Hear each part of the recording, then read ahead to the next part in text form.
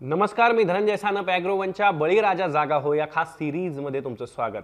ऊसाचा रस आणि बी मॉलेसिसपासून इथेनॉल निर्मितीसाठी केंद्र सरकारनं परवानगी दिली आहे. पण सतरा लाख टन साखर मर्यादा सुद्धा घालण्यात आली आहे. म्हणजेच सतरा लाख टन साखरेपासूनच इथेनॉल निर्मिती करता येणार आहे. याबाबतची अन्न आणि वितरण विभागानं पंधरा डिसेंबर रोजी एक अधिसूचना काढली आहे. पण या निर्णयाचा ऊस उत्पादक शेतकऱ्यांना फायदा होणार नाही असा आक्षेप घेत सात डिसेंबर रोजी काढलेली बंदची अधिसूचना रद्द करावी अशी मागणी साखर कारखानदारांनी केली आहे. मग ऊस उत्पादकांना फायदा होणार नाही का? त्याचं कारण काय? याचीच माहिती या व्हिडिओतनं घेणार आहोत. आता थोडं मागं जाऊ. तारीख सात डिसेंबर. केंद्रीय अन्न आणि वितरण विभाग या दिवशी एक अधिसूचना काढतं. कसली अधिसूचना? तर ऊसाचा रस आणि सिरपपासून इथेनॉल निर्मितीवर बंदी घालण्याची. कारण काय असतं? तर देशात साखरेचा तुटवडा निर्माण होण्याची शक्यता केंद्र सरकारला वाटते. मग काय होतं? या निर्णयानंतर शेतकरी शेतकरी संघटना आणि कारखानदार विरोध करत बंदी उठवण्याची मागणी करतात. पाहता पाहता यावरून जोरदार रान पेटतं. सगळीकडे चर्चा सुरू होते. या मागणीचे पडसाद राज्याच्या विधिमंडळात सुद्धा उमटतात. विरोधक राज्य सरकारला भूमिका स्पष्ट करायला सांगतात. मग राज्य सरकारच्या वतीनं उपमुख्यमंत्री अजित पवार केंद्रीय सहकार मंत्री अमित शहा यांच्याशी चर्चा करतात. तेवढ्यात खासदार आणि माजी केंद्रीय कृषी मंत्री शरद पवारही या प्रकरणात एंट्री करतात. केंद्रीय मंत्री अमित शहा यांची भेट घेण्याची तयारी दाखवतात तर दुसरीकडे राज्यातील कारखानदाराची लॉबी सुद्धा आक्रमक होत जोर लावते. त्यामुळे केंद्र सरकारवर काही प्रमाणात दबाव निर्माण होतो. पण केंद्र सरकार माघार घ्यायला तयार होत नाही. कारण लोकसभेची निवडणूक तोंडावर आलेली आहे आणि त्यात महागाईचा मुद्दा आपल्यावर शेकू शकतो म्हणून मागचा पुढचा विचार न करता सरकार आपल्या मुद्द्यावर ठाम राहतं. पण तिसरीकडे तोडगा तर काढला पाहिजे चर्चेवर पडदा किमान टाकला पाहिजे यासाठी केंद्र सरकार शक्कल लढवतं. काय शक्कल लढवतं?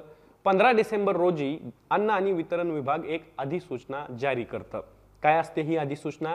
तर उसाचा रस आणि बी मॉलेसिसपासून इथेनॉल निर्मितीची मुभा देण्याची. त्यासाठी सतरा लाख टन साखर मर्यादा घालून सरकार हेडलाईन मॅनेजमेंटचा एक गेम खेळून जातं. पण यातून मात्र शेतकऱ्यांना दिलासा काही मिळत नाही. त्याचं कारण काय? तर इथेनॉल निर्मितीकडे कारखानदारांनी वळावं अशी केंद्र सरकार सूचना देत होतं. त्यामुळे कारखानदारांनी इथेनॉल निर्मितीवर भर दिला आता कारखान्यांनी भर दिला म्हणल्यावर सिरपचा साठा करायला सुरुवात केली. पण मग काय झालं? तर जुन्या आणि नव्या अधिसूचनेत साखर मर्यादेचा खोटा मारलेला आहे. त्यामुळे या निर्णयाचा शेतकऱ्यांना फायदा होणार नाही. आता तुमच्यातले बरेच जण असंही म्हणतील की इथेनॉलचा आणि एफ आर पीचा काहीही संबंध नाहीये. एफ आर पी दिला जातो तो साखरेच्या रिकव्हरी रेटनुसार पण कारखान्यांनी इथेनॉल निर्मितीसाठी सतरा ते अठरा हजार रुपये कोटींची गुंतवणूक केल्याचं जाणकार सांगतात. त्यामुळे शेतकऱ्यांना एफ आर पी देताना कारखानदाराकडे खेळतं भांडवल राहणार नाही. म्हणजेच कारखानदार म्हणणार की आधीच साखरेच्या निर्यातीवर बंधनं घातलेली आहेत केंद्र सरकारनं. आता तर इथेनॉलच्या निर्मितीला लगाम सुद्धा लावलाय. त्यामुळं आमच्याकडे भांडवल नाही मग आम्ही शेतकऱ्यांना एफ आर पी द्यायचा कसा? त्यात राज्य सहकारी बँकेनं इथेनॉल निर्मिती करणाऱ्या कारखान्यांना कर्ज न देण्याचा निर्णय घेतलेला आहे. म्हणजेच काय? शेवटी कोंडी होणार ती ऊस उत्पादक शेतकऱ्यांची. मग यावर पर्याय काय?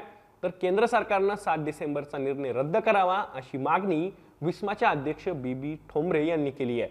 ठोंबरे नेमकं काय म्हणाले? तर केंद्र सरकारनं इथेनॉल निर्मितीसाठी सतरा लाख टन साखर वळवण्याची मुभा दिली आहे. पण ज्या कारखान्यांनी सिरपचा साठा केलेला आहे त्या कारखान्यांना या निर्णयाचा फायदा होणार नाही. त्यामुळे ज्या कारखान्यांकडे सिरपचा साठा आहे त्यांचे भांडवल गुंतून राहील. त्यामुळे संबंधित कारखाने ऊस उत्पादक शेतकऱ्यांना एफ आर पी देणार नाहीत. एकीकडे यंदा अपेक्षेपेक्षा बघता बघता साखर उत्पादन वाढण्याची शक्यता आहे. तसंच देशांतर्गत साखरेचा पुरेसा साठा सुद्धा आहे. त्यामुळे केंद्र सरकारनं सात डिसेंबर रोजी घेतलेला निर्णय रद्द करावा असं ठोंबरे म्हणाले. वास्तविक कारखानदारांच्या माहितीनुसार मागील हंगामात अडतीस लाख टन साखर इथेनॉल निर्मितीकडे वळवण्यात आली. आता पंधरा डिसेंबरच्या अधिसूचनेप्रमाणे इथेनॉल निर्मितीसाठी सतरा लाख टनांची मर्यादा घालण्यात आली आहे. त्यामुळे शेतकऱ्यांना मिळणाऱ्या एफ आर पीवर अजूनही टांगती तलवार कायम आहे. मान्सून हंगामात पावसानं दडी मारली त्यामुळे देशातील साखर उत्पादनात घट येण्याची शक्यता सुद्धा वर्तवली जाते आहे. लोकसभेची निवडणूक त्यातच तोंडावर आली आहे. त्यामुळे महागाई नियंत्रणात ठेवण्यासाठी केंद्र सरकारची धडपड सुरू आहे. थोडक्यात काय? तर केंद्र सरकारच्या अशा धरसोडीच्या धोरणांचा परिणाम शेतकऱ्यांना भोगावा लागतो. एकीकडे पंतप्रधानांपासून ते मंत्र्यांपर्यंत सगळेच कारखान्यांनी साखरेपेक्षा इथेनॉल निर्मितीकडे वळावं असं सांगतात. पण दुसरीकडे मात्र केंद्र सरकार इथेनॉलच्या निर्मितीवर बंदी घालतं. आता ही नवी अधिसूचना देखील हेडलाईन मॅनेजमेंट आहे. त्यामुळे केंद्र सरकारच्या कथनी आणि करणीतला फरक मात्र तेवढा स्पष्टपणे दिसून येतोय. तुम्हाला याबद्दल काय वाटतंय? केंद्र सरकारच्या करणी आणि कथनीत खरंच फरक आहे का? कमेंट बॉक्समध्ये नक्की सांगा. या माहितीसोबत या विश्लेषणासोबत मी तुर्तास इथेच थांबतोय. मी दररोज संध्याकाळी सहा वाजता ॲग्रोवनच्या यूट्यूब चॅनलवरती आपल्या हक्काचे प्रश्न घेऊन तुमच्यासमोर येत असतो. त्यामुळे ॲग्रोवनच्या यूट्यूब चॅनलला तुम्ही अजून सबस्क्राईब केलं नसेल तर सबस्क्राईब करा. माहिती महत्त्वाची विश्लेषण महत्त्वाचं वाटलं असेल तर जास्तीत जास्त शेतकऱ्यांपर्यंत पोहोचवण्यासाठी व्हिडिओला लाईक आणि शेअर नक्की करा. पुन्हा भेटू. तोवर काळजी घ्या.